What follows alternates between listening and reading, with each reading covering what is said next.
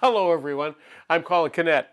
Quite some time ago I made this center finder jig and you know they work great. The only problem is I if I have a smaller piece of wood it doesn't work because there's nothing for it to line up against. In fact even if the wood is smaller uh, it places you, you have to place it way in the middle and it's just awkward to use.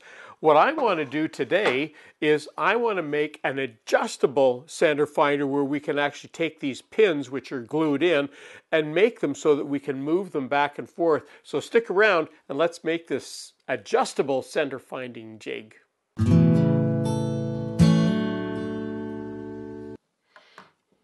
Now really all you're going to need for this are some bolts and I like to have bolts where there's thread in one area and no thread in the other because that's going to replace these pins here. So basically this bolt is going to be able to move back and forth. What I want to do, I've got a square nut on here and I want to recess that square nut inside here and the wing nut will be on top and I've got two pairs of those and I'm going to use some oak that I have, a piece of oak. This one's 21 inches long, three quarters of an inch wide, and I'm going to go right now over to the table saw and we're going to cut some rabbets in there that are going to accommodate these uh, square nuts.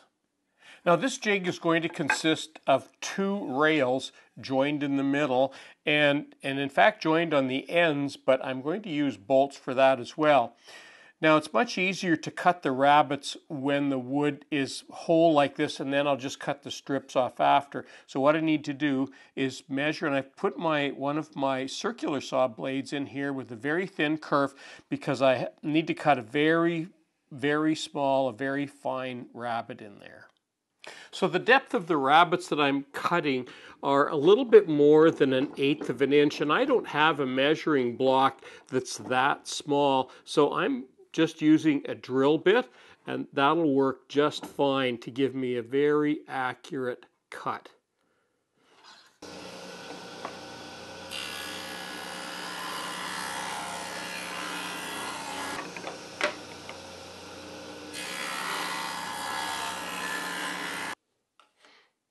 There's that rabbet cut and you can see how that bolt head just fits nicely in there.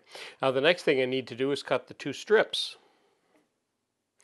Now these strips can be any width, but I'm going to make mine 3 eighths, and that makes them a little bit more stable. And I'm just using one of my measuring bars to do that. Uh, and I'll put a link on there to Amazon so you can see what these look like.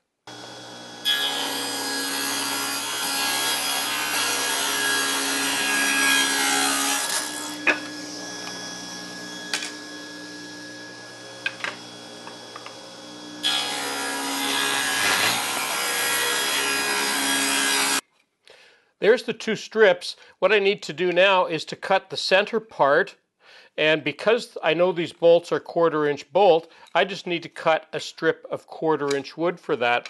And I can, again, I can measure that by using my bar. In this case, I'm measuring on the inside between the fence and the saw blade.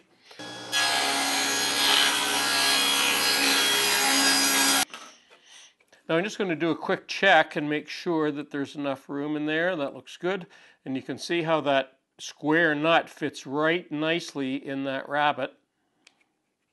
Now of course I don't need the whole length of the insert in the middle, so I've just marked it at 3 inches and I'll just cut that.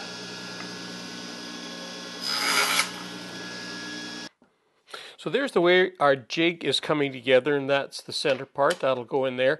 What I decided rather than cut more of these uh, for spacers in the ends, I'm going to leave the ends open and I've just gone to my drill press and just drilled a couple of holes and I have a couple of uh, nuts and bolts that I can put in there. And I'll just use washers or maybe even a wooden block in there uh, as a spacer. But what I need to do right now is to find roughly the center here and glue this up. And while that's gluing up, I'm going to take some time to cut the bolts off here because we don't need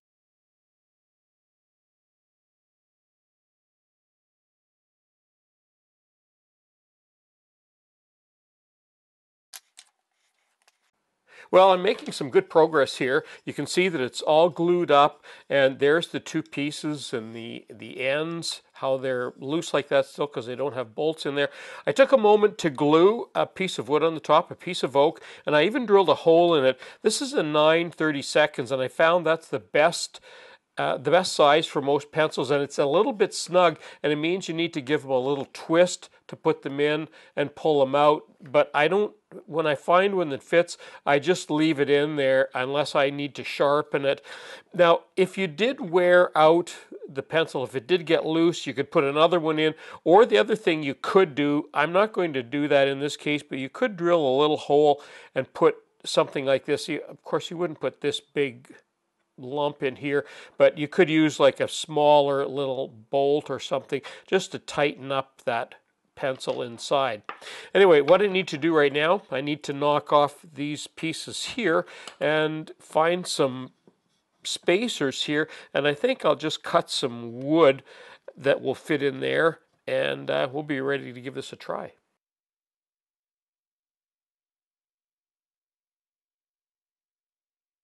I've taken a minute now to install the bolts in the end, and the purpose of having bolts in the end is if I ever want to tighten this up a little bit, I can do that. If I had a piece glued in there, I wouldn't be able to do that.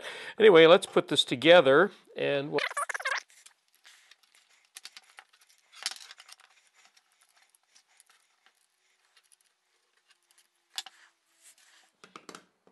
So for this one, I'm just using a driver bit.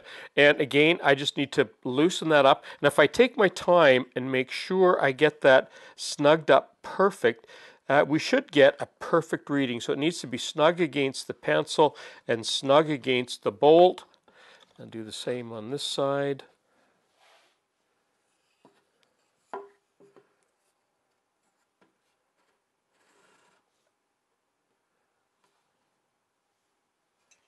Well, that concludes my video for today. And there it is, an adjustable center finder. Uh, in this case, it'll fit from about 20 inches wide right down to probably about 4 inches wide. So a great handy little tool, uh, and you only need one of these. You don't have to have three or four of them in different sizes. It'll fit everything. I'm Colin Knecht for Woodwork Web. Thanks for watching.